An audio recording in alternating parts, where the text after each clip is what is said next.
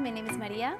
I am a big data consultant and I joined professional services as part of the graduate program nine months ago.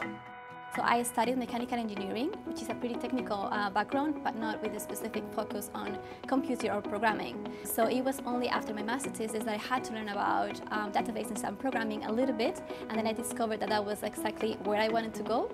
And so I had some internships in that field, and I was shaping my career toward that, that path.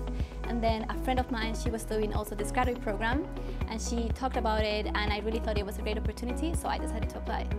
So what makes being a graduate in AWS special? I would say it's the learning opportunity that is um, joining the graduate program. So you get exposed really to uh, amazing initiatives, events. Uh, there's constantly summits happening, uh, workshops that you can join. And also you join at the same time with your cohort, with the, the fellow graduates. And uh, that is a really good networking, uh, like a support net. I think that's quite unique from AWS. People across AWS are humble and they are brilliant.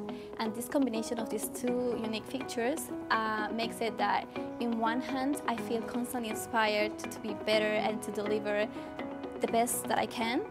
And I also, because they're humble, they're always willing to give you a hand and they're always uh, listen to you and uh, I feel that my opinions matter. If I recall when I entered um, in September last year and I see what I am now, it just feels like a lifetime already of knowledge.